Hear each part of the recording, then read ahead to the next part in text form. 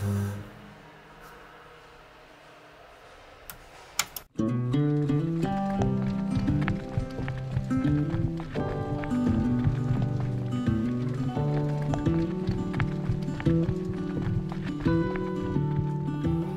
we are now in the flight path area and I will show one of the 20 measurement stations where we do our experiments.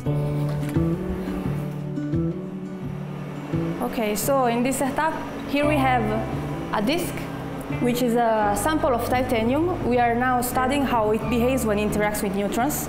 So it is placed inside the neutron beam of GELINA that are coming from that part. They arrive on the disk, and when the neutron hit the target, part of them induces the emission of radiation.